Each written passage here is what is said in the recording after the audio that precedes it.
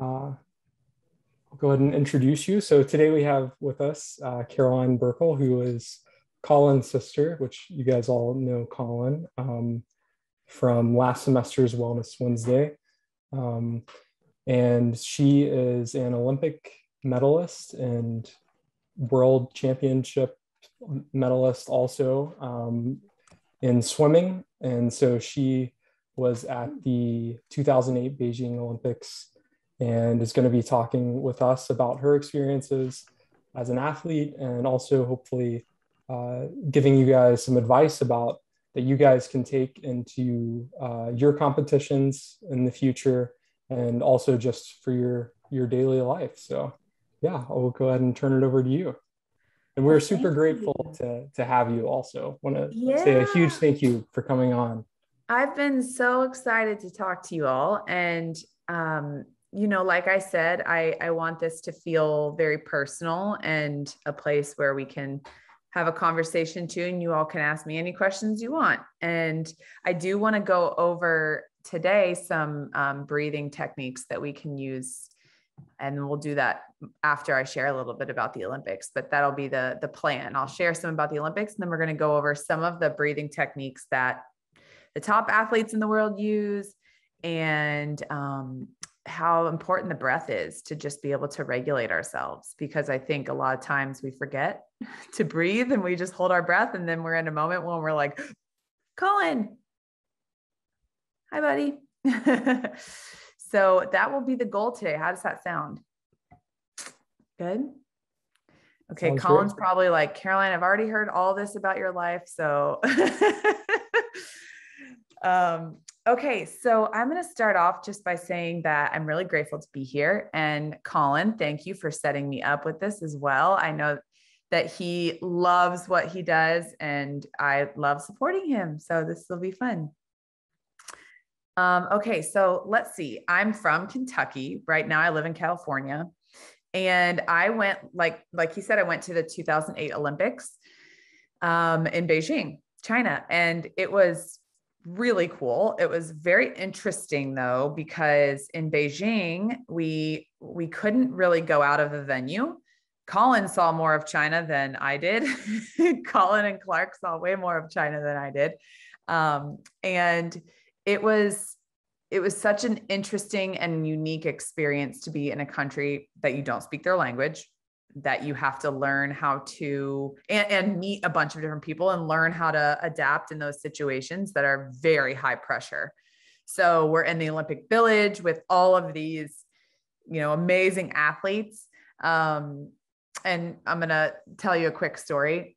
My second day there, I walk into the cafeteria and I'm first of all, there's food from every country. You have like Italian food and then McDonald's and then uh, American food and then Chinese food and Japanese food and all the different countries' foods. So I remember I was like, okay, we'll just get American food because we didn't know what to eat, you know, before we raced and we didn't know if we, we didn't want to get off of our routine. And um, I'm in line, I'm in line and with my my fellow swimmer and we get out of line and we go sit down at a table and the person behind us in line that we didn't know who that was at the time was Usain Bolt. and he comes over and sits down with us. And we didn't know who he was. Like, you know, we didn't know who he was at the time. None of us had competed yet. You know, we were all just there. We just gotten there.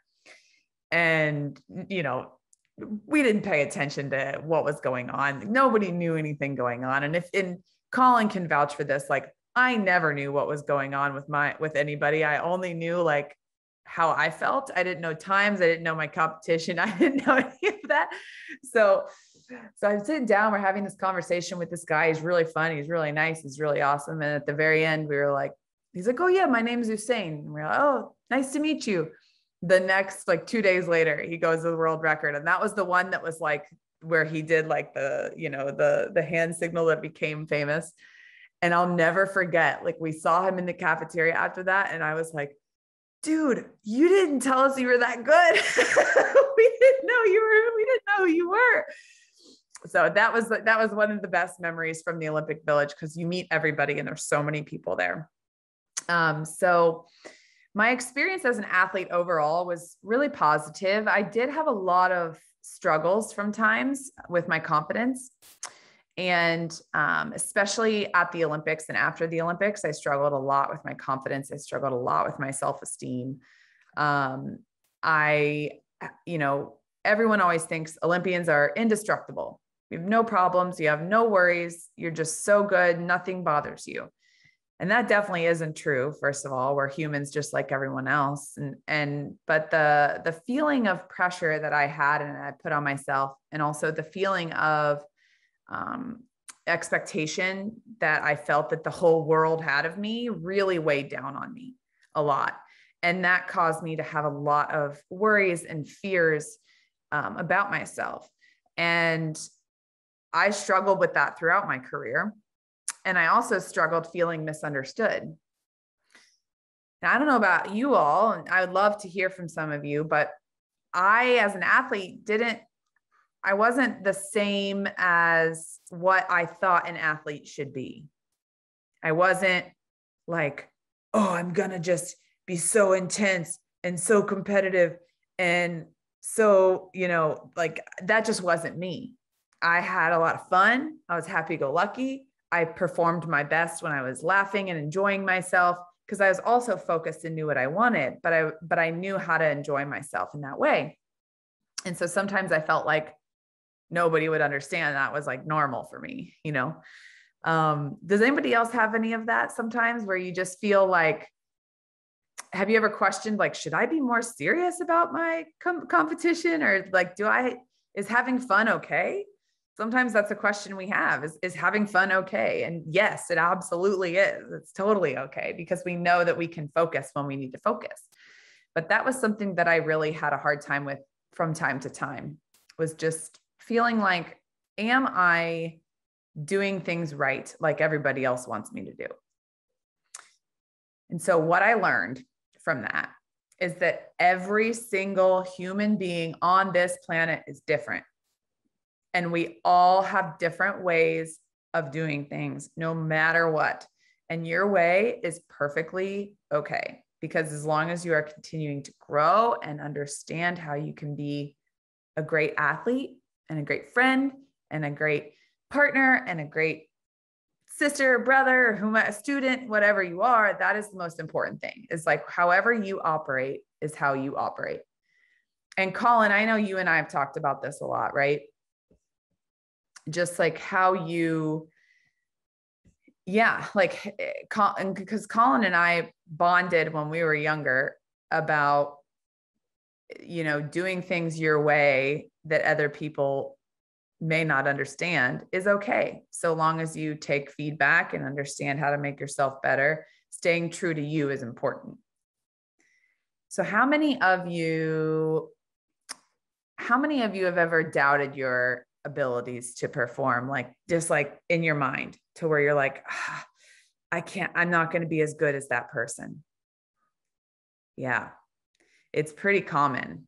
Yeah i see morgan saying me that's the one of the most common things that we can do as humans is say i can't i'm not going to be yeah colin i'm not going to be good enough i'm not going to be what everybody wants me to be. When really you're the one that has to decide what you want to be within yourself. So, what are, can I hear some of your all's goals?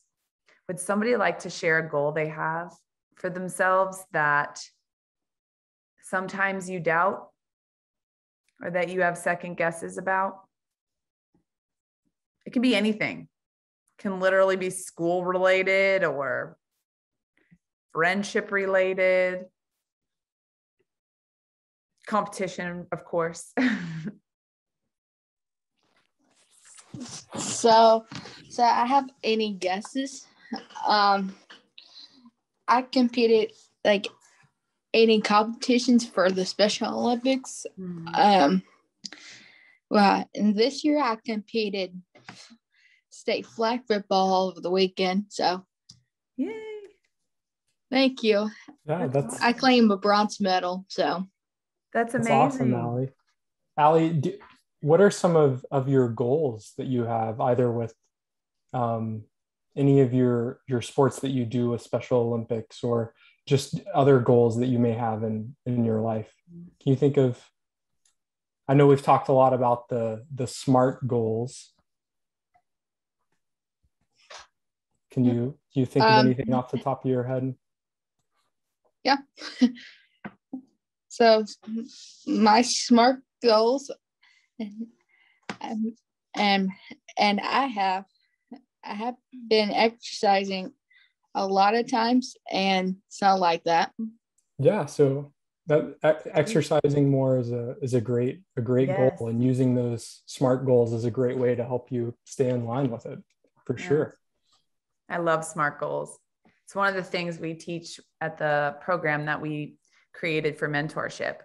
It's just understanding how to set goals and how to set SMART goals. And sometimes they're scary. Sometimes it's, you don't know. Yeah. I mean, I bet when you went into your flag football championship, were you nervous, Allie? Um a little bit, but I got excited for it. So Yeah. That's great. You can overcome some of those just by being excited that you're there. I have Okay. a I have one. Yeah. So like for me, my goal is to like not be I guess like nervous or scared about how like tired and um just how hard the like game's gonna be because I know that I'm gonna like get really tired and it's gonna hurt and stuff. So sometimes I feel like I like kind of like wuss out. So that's like my goal to like that's where I get that like you know I'm like Caroline I'm like ah man this is Yeah. gonna suck but I really enjoy doing it. Yeah. so that's kind of like my goal is to look at it like it is what it is like you like doing it. You just got to realize that yeah. like in swimming like i was the same way. I'm like oh my gosh this is gonna be so terrible. But uh yeah. just like getting over that hump like especially in like it's weird because when i'm training by myself i can train crazy hard because i'm like you know the confidence in yourself. You're not worried about what other people are thinking. But i feel like when i'm in the game i'm like oh man am i trying hard enough or am i being a baby so like that's one of my goals is to like not worry about that but also just like if you work hard like that's all you can worry about. yeah. Yeah. It's easy to get caught in that future mindset of worrying like, what if this happens? What if this happens? Hey, what if Trent. this happens? Yeah. One one of my goals is is is is right now be be because I cannot go back to um Dairy Queen because because of um COVID. I I've been helping all around campus doing some um, errands for for like different people and and trying to help help all around our campus and um, do and um, do some stuff. That's great, Kevin. Yeah. While while you can't go back to your job, Yep. you, you're finding ways to be productive and, Yep. And keeping that goal of, of being productive and Yep, going back to Dairy Queen. Awesome. Yeah, that's great. Yep, That's for like 10 years, I will be in in November. Amazing. Yep, It is Wow, important, wow, like you said, to great. find other ways yep, to make to make that goal happen because it doesn't have to be in the same space either that you always have it in. yep. you can always make a better reality for yourself, which I think is really, really great. That's awesome, Kevin. Thanks for sharing that. I think it's interesting too to think about this amount of self-talk that we have in our in our heads about certain things like Colin was saying when we when we get afraid of, of what can happen in the future. And then that was really cool to see Kevin also say, well, you can be, you can have like, oh no, like what if I can't ever go back? But then he's like, well, I'm going to make the best of it in this situation. And Colin said the same thing, like I'm going to make the best of it by doing what I can control. Because there's so many things that we can't control, but what we can control is ourselves. And that's all we can control. And Allie, you've probably felt the same way in your flag football. It's like I can control me you know and i can control what i can do here but i can't control my everybody else we have to work as a team for sure but i can't do something for them i can only control me right Yes. yep. yeah There's something I like to to teach too that um, for self talk, and then we're going to get into a little bit of breathing stuff. Is sometimes I picture, you know, when we talk about angel and, and devil, when you have like an angel on one shoulder and devil on the other shoulder. Well, we like to call it like the gremlin and the angel because the gremlin's the kind of like, you know, just like angry and like you can't do this. It's not necessarily like devil but it's just like a grumpy a grumpy old person. You can't do it. You're not good enough. You can't do this well we like to we like to talk about how the gremlin is actually not you. Like you you aren't the thoughts. Those thoughts are just visitors. So whenever you have these negative thoughts picture them as just it's just a visitor. It's just a gremlin that comes in and tells you something but you can kindly ask it to leave and you can kindly say please do not tell me these things because that is not true. So if you view it as not yourself then you won't be so hard on yourself. You view them you observe it. You're like that's not me. That's just the gremlin telling me i can't do it. But i'm i know i can do it. So that's a, a, a easy way to start thinking about whenever I doubt myself, let's try and remember it's not you. You're not the problem. It's the the gremlin that, that's trying to convince you that you are not good enough. But that but you can ask that thing to leave. that's it's it's a helpful thing because then you think about it in a way that's not so hard on yourself. And I see Kevin, you said you have a question. I got a a question uh, about the Olympics for you. Yeah, I want to hear it. All right, all right. I I got two things. I love watching swimming, and I and and and I love what I I love watching all all of the sports there. How from um, one year from COVID to a couple years be, before COVID, how how it is it different be, be, between those two times? Mm. Well, I didn't go this time in COVID, but I will say this. When I went to China, and Colin can vouch for this, we weren't allowed out of the village really. And oh, and we had to um, be bussed on a bus to each venue. Like you couldn't walk outside the village. There's security in and out. So I honestly think it's just it's China had many rules in the first place and that was one of them. Like you had to wear masks even when you went out in Beijing because the air quality was so bad. So to be honest I sometimes wonder if we were very quarantined in that way just because you know the athletes don't really realize a lot cuz you're quarantined. But I will say this the the spectators the people that could come watch there were no spectators this time which was really hard. Yeah. Yeah. So and you know like Colin could come to Beijing when he was younger, but nobody could watch it this time around. Yes, yeah. Colin. And, yes, um, we're going to talk about that in a second too. That's so good. And um and and and I cannot wait for um February for for the Winter Games. Yes, I know. Me too. Those are my favorite. I love watching it mainly because I can't ever yep. imagine doing any of those things. I'm like, I can't do a single, like, I cannot ski, I cannot snowboard. I'm determined to learn, but I'm just not very good at it. I think I'm too, I'm, I'm too uh, tall and lanky. what, what, ev- what events did, did, did you do at, at the Olympics? I did the four by 200 freestyle relay. So I swam a 200 Ooh. freestyle. It was fun. That's cool. Swimming I have my medal right here yeah. that I want to show you, and then I want to talk about what Colin just said. But I'm going to show you my medal because I brought it down for you guys. So this was our medal. It, it this was bronze. And oh, so cool.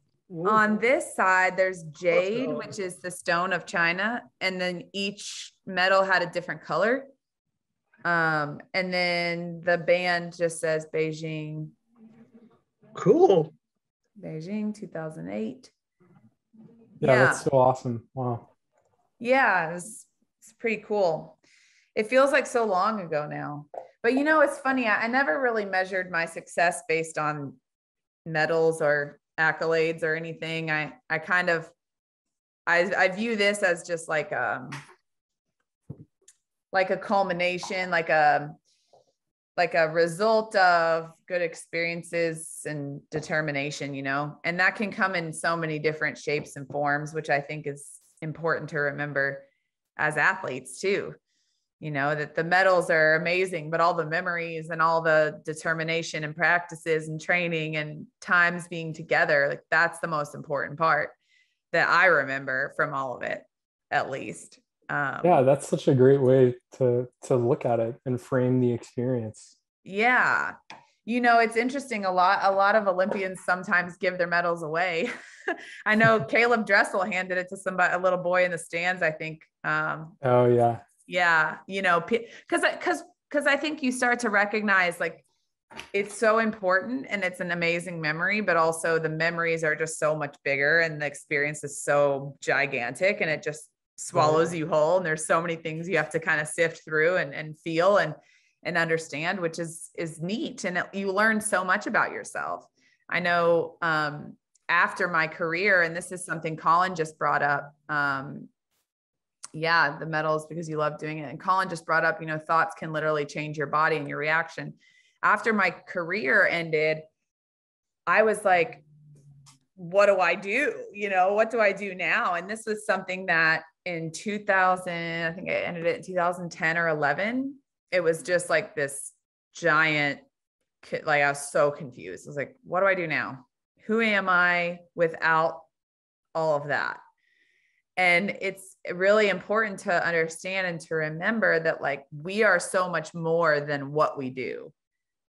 You know, what you do is just an extension of you, it's just something fun that you can participate in and something that you can um, understand better about yourself. But when I went through that really hard time, it was so hard on my body, like what Colin said, because my thoughts were so negative. And you have, you know, you go, I went through back to what we were talking about just a couple minutes ago, everyone. Our, our, our thoughts can be so hard on us.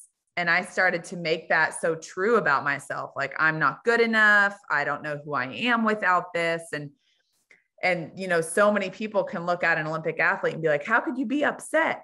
Like you you know you have a medal. How could you possibly be upset or, or sad or down or have some depression or anything like that?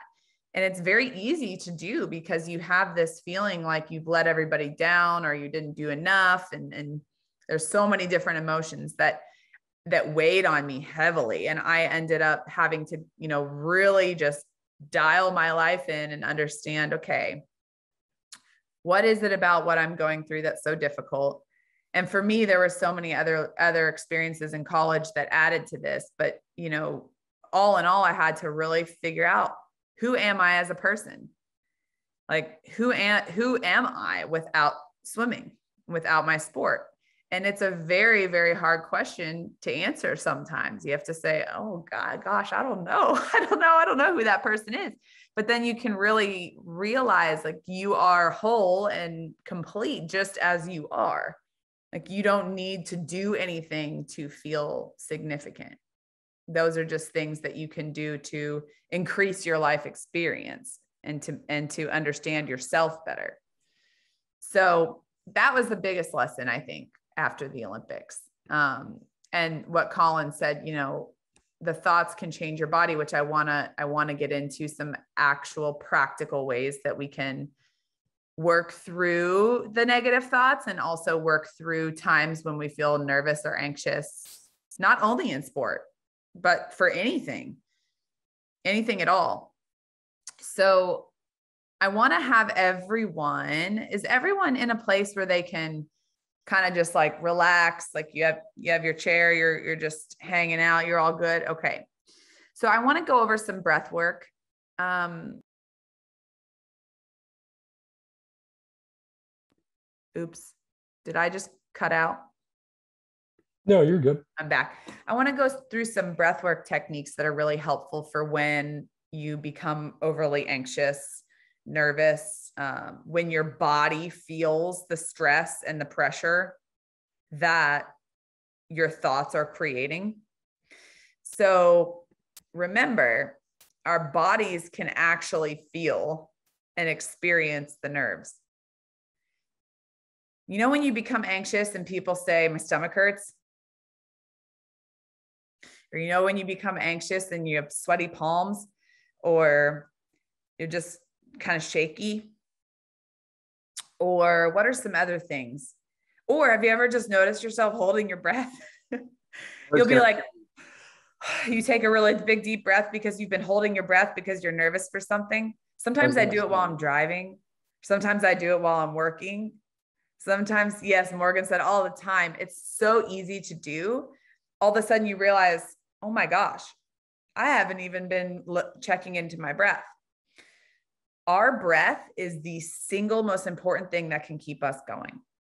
Without our breath, we become dysregulated. And when we are dysregulated, we don't we don't think clearly, we start to get more anxious and more nervous and then sometimes it can lead to other emotions that may not even be necessary in that moment, but simply because the biological component so like the the bodily experience we have when we breathe actually makes us think clearly.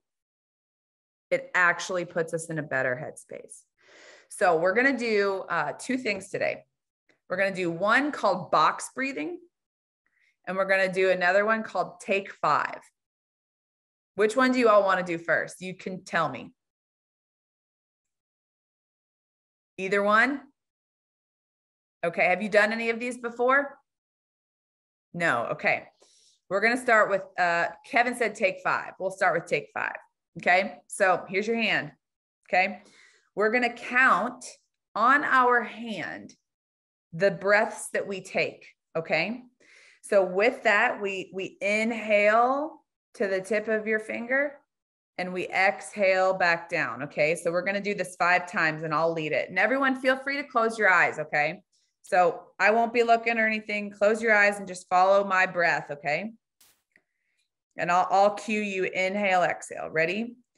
Inhale, one, two, three. Exhale, one, two, three. Next finger.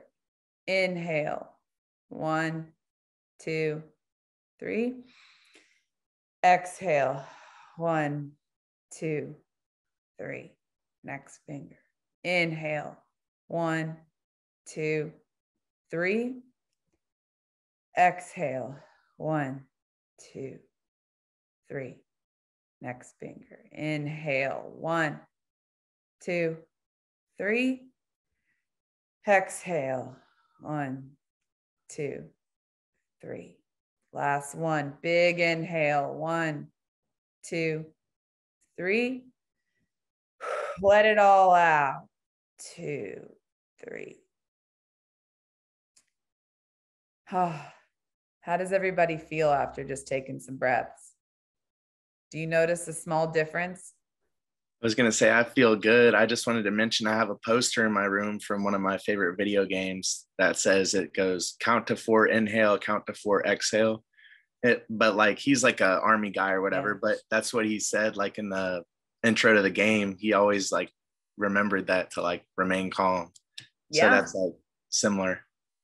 You know, a lot of that's a really good point. You can make any image that you want. You can do the waves coming in the shore and out the shore.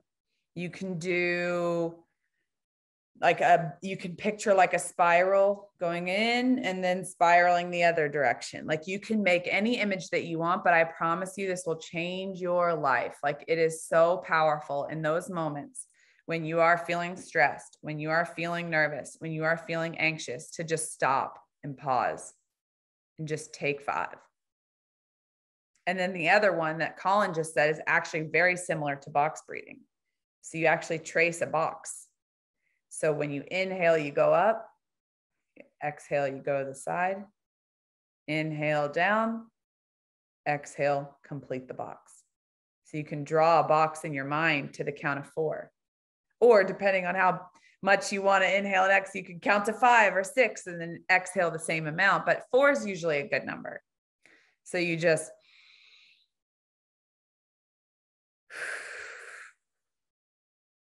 but you always want to inhale through your nose and exhale through your mouth. Reason being is because if we can inhale through our nose, best we can, we get more oxygen to our brain and it calms you down. And have you ever seen before races athletes that you see go like this? Right? I see Serena Williams do it before every serve because when we can have that big inhale and exhale, we're allowing our body to just whew, prepare, shake it off. When we hold our breath, we become tense and tight. Only time to just hold your breath is when you're actually doing breath work to where you're clenching everything up and then releasing. And that's another option. So take five, box breathing. And then the last one I want to tell you is if you really, really, really, really, really want to calm down and relax, something I like to call progressive muscle relaxation, which is really cool. You can like clench your fist and then relax it. And you do that with the count of your breath. So when you can do that with your upper body like this. Can do that with your jaw. Can do that with your feet or your legs or whatever it is that you want to do that works for you and your body. You get to choose.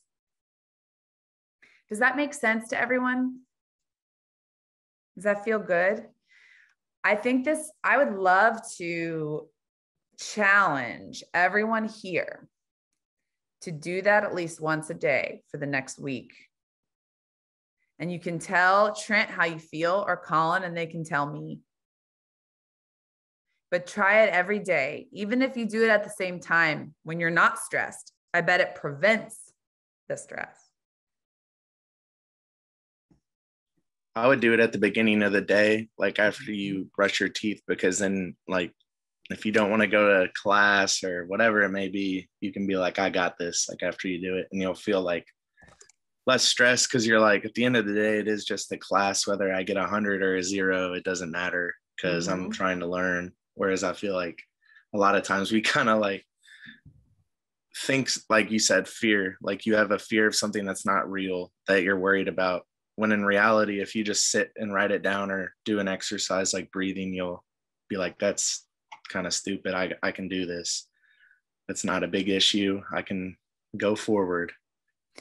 Yes. And, and also remember that a lot of times there's so many things that we get flooded with information in this world. There's so much out there. Do this, do this, do this, do this, do this. And at the end of the day, keep it simple. Coming back to your breath 10 times out of 10 will always allow you to perform better, to think more clearly, to, to feel better, to your body feels better. So next time you want to jump to what should I do? I, I, this feels like hard and I'm nervous. Go back to your breath. That's it. Even even if it's like a stressful day in society and there's something on the news that's stressful or you hear something or somebody makes you angry same thing. Somebody says something mean same thing. Go back to your breath. It always works and and it's the power of the pause. Instead of reacting you can pause and step back and the thing that you can control is your own breath and your own body. And what you can control is the most important so keep it simple. You can do the, the take five, the box breathing, and then the progressive muscle relaxation or just clench and release is something I like to call it. Does anybody have any questions about that stuff that I talked about? It can be anything. You can even ask a specific question. So, like, you're a swimmer but you Mhm. can't breathe during your race. Obviously, I mean, obvi- you're breathing to like stay alive while you're swimming, but in a sport like rugby or football, with doing it like multiple times or like or in between a play or like if you're off to the side, like not involved in that like possession or whatever, should you like do that if you find yourself like should you just take one deep breath? Yes. So the the that's a great question. Obviously, there's a lot of times we can't just be like, stop the game. I'm gonna take five.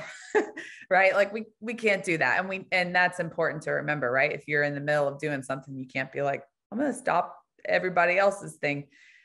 But something that you can remember in that Colin, that's a good question, is that yes, when you inhale,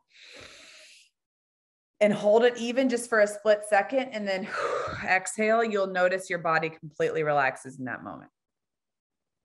One giant inhale and a small pause, and then a big exhale will allow you to completely reset your physical state in that amount of time. And that's why, have you ever heard, you know, we all talk about it, but no one really knows the, the actual psychology behind it. But everyone says, calm down, calm down, take a deep breath. That's actually for a reason because taking a deep breath allows us to, all right, let's reset this. Because what it does is it sends a chemical signal to your brain that releases that calm down effect. I can I can recenter. So if you think about it in the opposite way, if somebody has asthma and they're they're usually stressed out, right? Like because they can't get a full breath. So if we can learn how to train our breath, sometimes we can even prevent those things. I know my friend has really bad asthma and she started doing breath work every day and it's helped her asthma tremendously, even just through training herself how to breathe deeply because when we can train our bodies remember our brains and our bodies are connected right so when we can train it all together we can learn how to do it together no matter what there's even something super small we can do that would be nice. This is good for yoga. I know you all did chair yoga. This would be great for that. You can do this really anytime. So your breath follows you everywhere you go. Hey, Caroline, yeah. Would you show us how to do that box thing? What you Yeah. were talking about? yes let's do it together we're going to Oh. count to four okay All right. each time. All right. So, everyone, again, close your eyes and get comfy. And just picture yourself tracing a box, the shape of a box in your mind. Okay. Ready? And inhale. Two, three, four. Exhale. Two, three, four. Inhale. Two, three, four. Exhale. Two, three, four. You can do that as many times as you want. You can do that three times, four times, but take a second to just trace that box at least one or two more times on your own. I'll do it with you.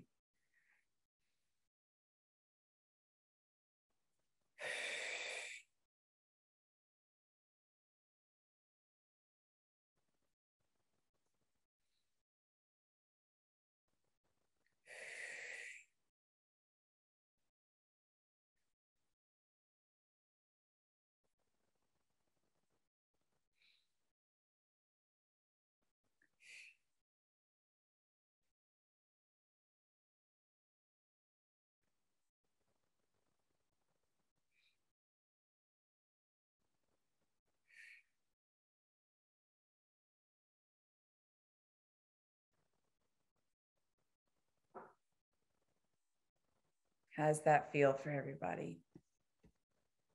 Good. So let's see if we can do a miniature challenge there every day. Let's try and do the breath. You could do it every hour if you want. sometimes I do it multiple, multiple, multiple times a day, depending on how much there is going on. And you know what else is, is a good trick? Is if you're activated by loud noises, like I personally don't like dump trucks and they come by twice a week where I live and they're really loud outside my window. I if I have the time, I stop and I do my breath because because they they I don't know why I don't like them. I just don't like they're so loud. And so I just have to like even little things like that, like even little things like that, that that just can be bothersome. Everybody has their thing, right? Well, dump trucks are definitely mine. So they can be really loud and obnoxious here. And we all live really close here in California. So there's not a lot of space. It's like New York at sometimes, but you know, it's important to, yes, yeah, so loud and so early and sometimes sometimes so long. Like they drive so slow and they take forever. And then it's been 25 minutes of dump truck noises. so you can get 25 minutes of breathing in. But there's just little things like that that can sometimes be so helpful. And Kevin, what were you going to say? I, I was going to say maybe if we do this breathing thing, it it might help us get through through to this COVID thing if if we maybe breathe like every single day and maybe try doing like exercise, it might help us get it back to maybe our our normal life one day. Yeah. I believe that. And also, you know what this breath work does is it strengthens your lung muscles. So your lung muscles are going to be stronger. Yes. So that when you in every year that we get older, we get stronger with our, our breath and with our lungs because we are able to work them because our lungs are a muscle, you know. Yes. They're just muscles right there. So when we have those muscles working and working properly, we're able to do so much. So that's my challenge for you. And I'm going to make sure that Trent and Colin let me know next Wednesday, the day before Thanksgiving, how it's going for everybody. How does that sound? Yes, I hear this, especially I, I just got a message from Luke saying there's loud semis and they go by. Yes, totally. Trucks are annoying and loud. and they can be, you know, we don't realize how annoying they can be for us, especially if you're trying to focus on something else. It's like, I'm like, what's that? What's that? so the breath can help us zone in and focus. Does that sound good for everybody? Yep. Take five, box breathing, and you can clench and release. And remember, the self talk that you have is not you, it's the gremlin. So don't take ownership of those thoughts. They're just visitors. You can t- kindly ask them to leave. They don't have to stay and pay rent in your head. Does that sound good? Yes. Hey, Trent. Yes, sir. Do we do we not come back now until December the sometime in December, right? Yeah, so I, we so we will be back for um, our last one, um, maybe December. So we actually have one more after that, December fifteenth, I think. Don't quote yeah. me on that, but so we have one more after that one. So it'll be a two week challenge.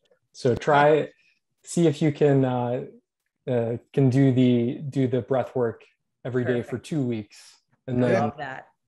I'll I'll be sure to relay the information two week challenge. I love it. All right, everyone. Well, if you have any more questions, I'm here. Anybody have any any final burning questions? No worries if not. you can always ask me later if you have them, or you can tell Trent or Colin, they can ask me and I can tell you. Yeah, absolutely. It was so lovely to meet everyone. Yeah, it was so yes. awesome to to have you on. Thank you so much for for joining us. Yeah. I wanted to give something simple and effective that we often overlook and forget about. yeah, no, absolutely. It's a very true thing. Breathing makes such a such a huge difference, and it is often overlooked. Um, yeah. Yeah. All thank right. Well, so much. Yeah. Thank you. And thank you. Thank you all for joining us. Yes. Thanks for having me. And thanks for thanks to Colin for suggesting that I come hang out with you all. Yes, Bye, Mary. absolutely. have to come back. Oh, you're muted, I think. You're gonna have to come back. I know I'm gonna have to come back. You were great. Congratulations on your job today. I, I got to listen to it. I'm multitasking. I'm not going to pretend. I love the You're fine. I totally understand. I do it all the time. Go Thank Special for coming. Olympics. Thank you. Thank you, everyone. It was good to see you. You too. All Have a good day. Thanks. Bye, See Colin. everyone. Have a great holiday. You too. Happy Thanksgiving. Happy Thanksgiving.